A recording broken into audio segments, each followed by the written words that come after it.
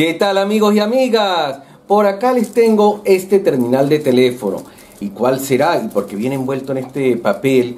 Bueno, el papel deduzco que es todo lo que tiene que ver con la actualidad, que se está sustituyendo todo lo que tiene que ver con plásticos por papel. Así están viniendo los productos actualmente. Se está tratando de eliminar el plástico lo más que se pueda. Pues bueno, aquí tenemos este dispositivo, el Xiaomi Redmi 10C de este año 2022 salido este mismo año, es un modelo nuevo, pero claro, es la gama más baja de Xiaomi, este 10C, Redmi 10C, tiene 4 GB de memoria RAM y 128 GB de almacenamiento, también tiene ranura para extender la memoria hasta un terabyte.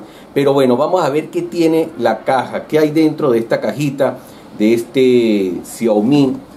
A ver, vamos un momentico a romper aquí los precintos de seguridad que traen todos los teléfonos.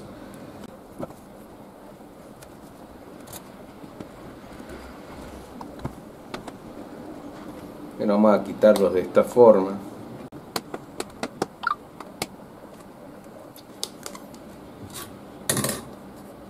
Listo, una vez quitados los precintos, vamos a, a sacar el terminal. Por aquí lo tenemos.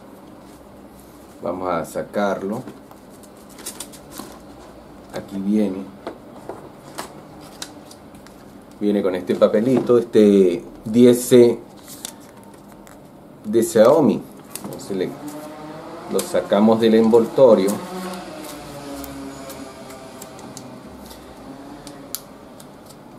Eh, lo, que le interesa, por lo menos el procesador, es un Snapdragon 680, tiene la cámara principal de 50 megapíxeles de resolución, em, una pantalla de 6,7 pulgadas, dock drop display, eh, batería de 5000 amperios, o sea, una batería de bastante autonomía.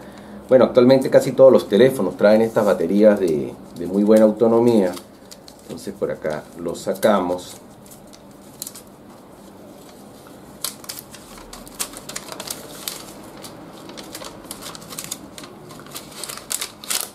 Este es el de color azul, viene en tres colores, en negro, en azul y en, bueno, negro en realidad no, una especie de gris oscuro, un gris oscuro que tirando a negro este modelo azul y el modelo verde. Son los tres colores, verde, azul y negro.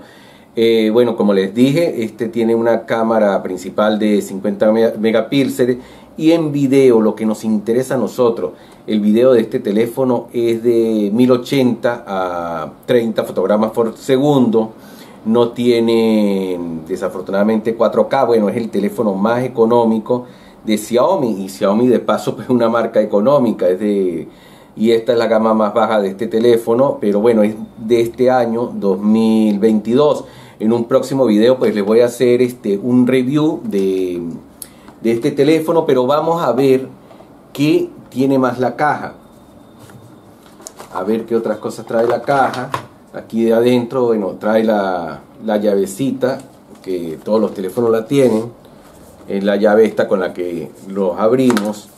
Y por aquí hay los manuales los clásicos manuales el manual de, de la garantía manuales también de funcionamiento en diferentes idiomas. Aquí los tenemos todos estos manualitos que siempre nos vienen. Trae tres manuales. Y otra cosa que trae indudablemente pues bueno el cargador. Aquí tenemos el trae la pieza esta y un cable. El cable para cargarlo es tipo C. Y esto es muy importante que sea tipo C. Recordemos que en Europa se aprobó hace un mes aproximadamente menos de un mes fue hace poco una normativa donde todos los dispositivos todos los dispositivos móviles sin excepción van a tener a partir del 2023 este terminal, este el tipo C. El tipo C lo van a tener todos los dispositivos.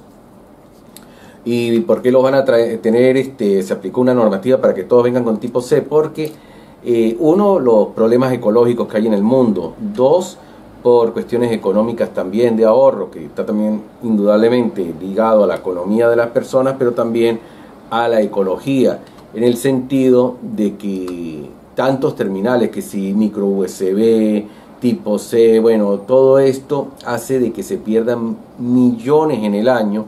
Eh, la gente compra un dispositivo y ya lo que lo anterior, lo que tenía el dispositivo anterior, resulta que no le sirve. Entonces, como estos son los más modernos, los tipo C, pues de ahora en adelante van a venir desde el 2023 para Europa, ¿no? Entiéndase para Europa, para la Unión Europea, todos los dispositivos, sí, porque no es toda Europa, es la Unión Europea. Recordemos que hay países de Europa que no están dentro de la Unión Europea. Entonces, por lo menos en el caso de España, que sí lo está, pues bueno, vamos a tener estos dispositivos a partir del 2023. Todos estos eh, cargadores, todos los cargadores van a venir con puerto tipo C, indudablemente los dispositivos también. El tipo C, pues bueno, ustedes los ven, es muy diferente al eh, micro USB que estamos acostumbrados. Bueno, viene como el clásico teléfono, los botones por acá los tenemos de, de volumen, de encendido, tiene aquí atrás viene lo de la huella dactilar, tiene también lo de las cámaras, tiene tres cámaras, ahí las tenemos, y como les dije, la principal es de 50 megapíxeles, eh, la frontal tengo entendido que es de, de 5 megapíxeles, y, pero es un teléfono bastante bueno, la, con la trasera de 50 megapíxeles vamos muy bien. Y el video Full HD a, a 30 fotogramas por segundo, pues bueno, es un video que de repente este, eh, debería haber sido por lo menos de 50 fotogramas por segundo, pero les repito, por calidad-precio, pues bueno, indudablemente hay funciones menores, 4K no tiene, eh, pero bueno, para el mundo de YouTube, para todos los creadores de contenido, el Full HD sigue excelente y, va a durar muchísimos años más. Bueno, ¿qué más que en YouTube todavía queda excelente el 720, el HD normal de toda la vida? Bueno, eh, ¿qué más tiene? tiene los altavoces, el volumen y eh, tiene entrada para micrófono, para micrófono no, mentiras, para auriculares. La entrada que tiene es para auriculares.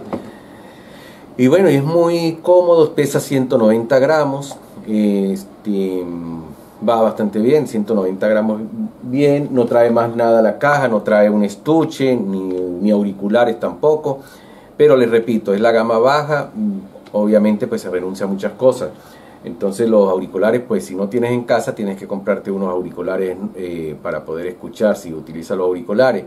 Eh, de todas maneras, después vamos a hacer una review eh, tomando fotos, grabando videos, a ver qué tal van las fotos de, día. Yo lo, las review siempre de los teléfonos las hago de día porque ya sabemos que de noche todos los teléfonos, así sean de gama alta, gama media, gama baja, todos de noche tienen problemas de luz y los tienen indudablemente porque el sensor es muy pequeño, un sensor de menos de una pulgada, entonces eso va a caernos a mentiras que, bueno, que el procesador tal hizo una, unas fotos bellísimas, espectaculares, igualitas que las cámaras profesionales de formato Full HD o APS-C, falso llévelas al ordenador, sáquelas del teléfono, cuando los que dicen todas estas cosas, sáquenlas del teléfono y las llevan al ordenador y las trabajan en Photoshop o en cualquier programa a ver cómo vamos de pixelado. Una cosa es verlas aquí en pantalla pequeña y otra cosa muy distinta, por lo tanto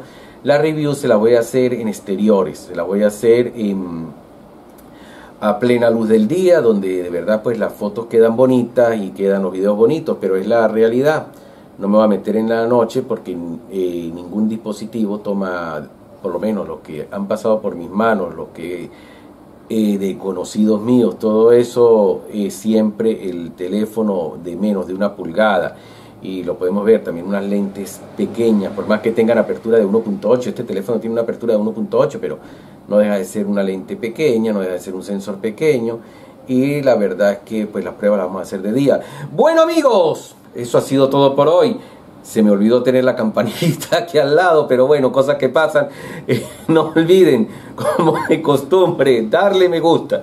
Y ya casi me atoro. Darle me gusta, suscribirse al canal y activar la campanita para seguir disfrutando de todos nuestros videos. Hasta la próxima.